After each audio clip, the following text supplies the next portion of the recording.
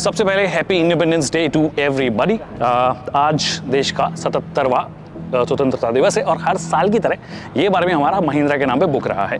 इस बार बुक क्यों रहा है? हमें केपटाउन बुलाया गया है। दो कॉन्सेप्ट्स दिखाए गए हैं। एक नया ट्रैक्टर का ब्रांड ओजा लॉन्च किया गया और दो कॉन्सेप्ट्स दिए गए हैं। दो कॉन्सेप्ट्स दिखाए गए हैं जो कि फ्यूचर में झांकने की कोशिश करते हैं।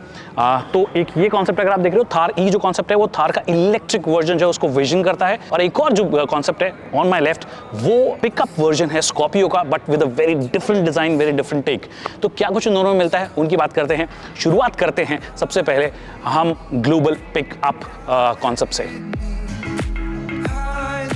Let's start with the first car या फ़र्स्ट कॉन्सेप्ट जो थोड़ा सा रियलिस्टिक लग रहा है, क्योंकि ये स्कॉर्पियो एन पे बेस्ड है। So we know the platform वही बॉडी ऑन फ्रेम प्लेटफॉर्म है, वही डीजल इंजन है एमहॉक वाला, जो कि हमने देखा है। That means new generation ladder frame chassis the new engine that these guys have 2.2 litre same power output figures and everything but looks की जब आप बात करते हो ना तो वो कंप्लीटली चेंज इन्होंने किया है।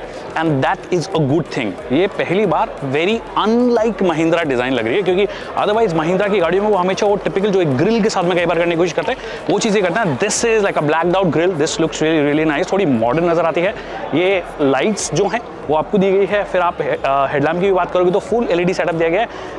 बिल्कुल भी रिलेटेड नहीं लग रही है कि ये स्कॉर्पियो पर ही बेस्ड है तो डिज़ाइन कंप्लीटली चेंज है। इनफैक्ट ये वर्टिकल वर्टिकली प्लेस जो आपके फॉग लैम्प पोजीशन जो दी गई वो भी अच्छी लग रही है। टो हुक जो है it's done in different way but like a sir it concept है तो कॉन्सेप्ट के साथ में कई सारी चीज़ें आप कर सकते हो। मैक्स रोड कैपेसिटी यहाँ पे लिखी गई है फाइव टन से ज़्यादा की मैक्स रोड कैपेसिटी है।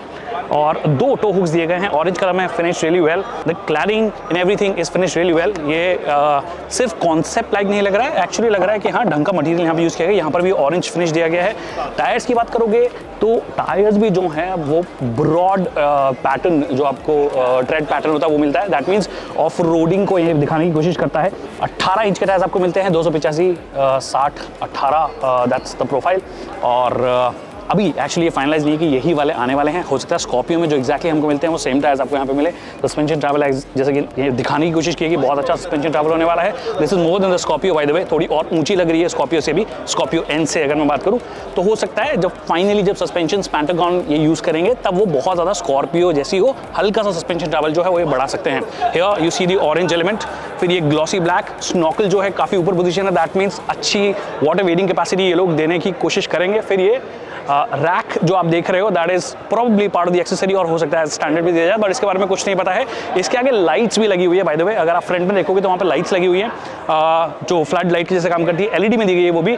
फिर डोर जो है, एक तो कलर जो है वो थोड़ा बहुत अच्छा लग रहा है। स्कॉर्पियो में भी कलर हमने देखा नहीं है। तो एक कलर जो है वो अच्छा लग रहा है। डोर हैंडल्स की अगर आप बात करोगे तो ऑफकोर्स ये कॉन्सेप्ट है तो मैं इसको खोल के बता नहीं सकता। ये सिर्फ़ चिपकाया गया है इसको ठीक है? तो this is not close to the production थोड़ा सा बाहर ही आ जाता है एक्चुअली वो। रेयर से भी अगर आप देखोगे this is unlike anything that we have seen so far from Mahindra and that's a good thing uh, you know in my opinion क्योंकि थोड़ा ब्रॉडनेस इसको मिल रही है। अगर कंपटीशन में अगर बात करोगे तो सीधे तौर पर कोई कंपटीशन है ही नहीं। गेटवे जब एक टाइम पे आया करती थी तो गेटवे भी टेक्निकली किसी का कंपटीशन आज तक बन नहीं पाई है। That never became an aspirational sort of a product Mahindra का बहुत बड़ा सा यू नो नाम लिखा गया है, बहुत अच्छा फिनिश लग रहा है। Four explore that means four wheel drive system आएगा। बट इसका जो फोर व्हील ड्राइव सिस्टम है बाय द वे वो बहुत अलग होने वाला है। बाकी सबसे, उसके बारे में बात करेंगे बट उससे पहले एलईडी लाइट्स अगर आप देखोगे तो आपको एलईडी का फुल सेटअप दिया गया है। और अगेन कॉन्सेप्ट लाइक है it's not close to the production of type actually दो पार्ट्स में डिवाइड किया गया है।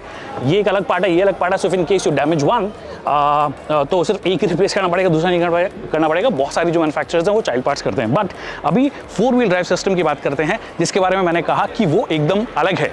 हाउ इज़ इट डिफरेंट देखिए, अगर आप स्कॉर्पियो की बात करोगे तो उसमें फोर बाय फोर सिस्टम आता है। With the transfer case that means आप उसको रेयर व्हील ड्राइव स्टैंडर्ड में चलाओगे। ट्रांसफ़र केस आता है, उसके बाद में फिर फोर बाय फोर के जो डिफरेंट मोड्स हैं, चाहे लो हो, चाहे हाई रेंज हो, उसमें जा सकते हो।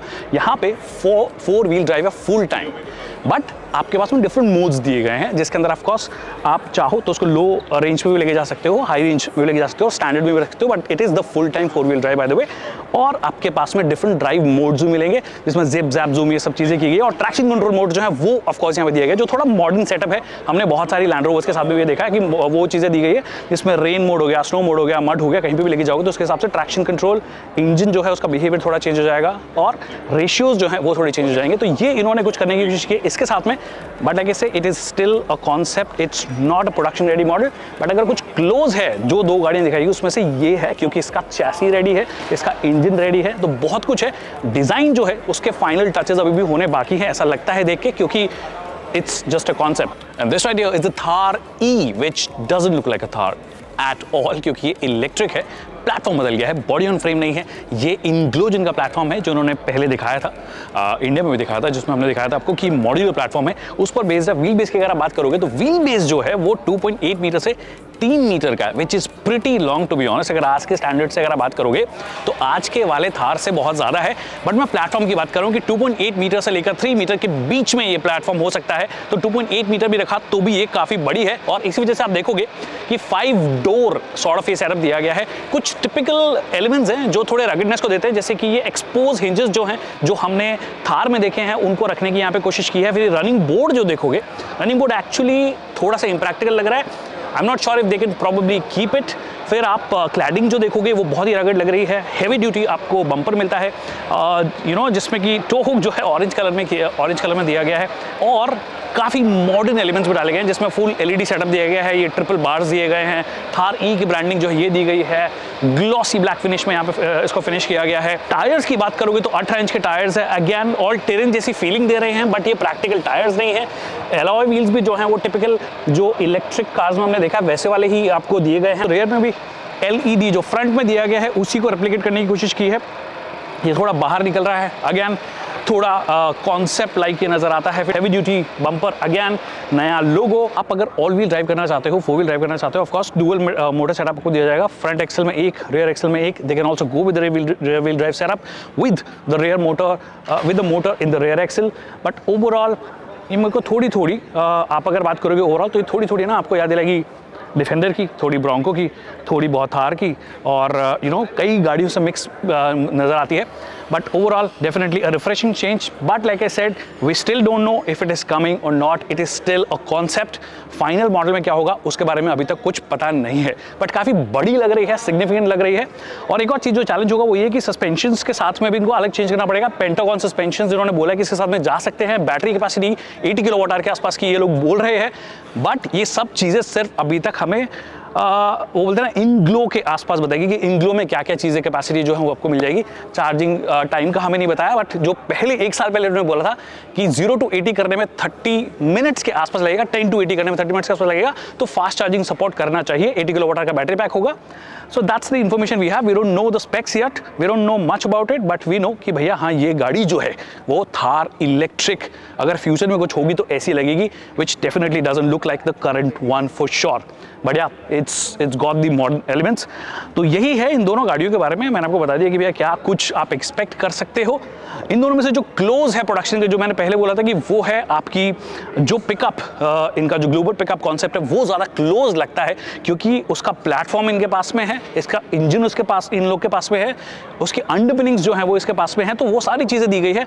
But Thar E still a distant reality so that's what it is in this video I hope आपको ये वीडियो पसंद आया होगा। वीडियो पसंद आया तो इसे लाइक करना और शेयर करना। ना भूलिए, अगर कोई सवाल है जो कि रह गए हैं तो कॉमेंट सेक्शन में पूछ सकते हैं। हम उसका जल्दी से जवाब देंगे। Thank you so much people for watching this video